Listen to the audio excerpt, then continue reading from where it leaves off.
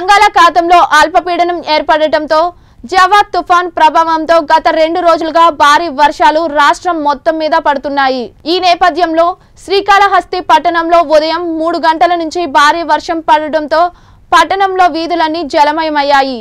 దీంతో వాహనదారులు వాహనాలు నడపలేక ఇబ్బందులు పడుతున్నారు.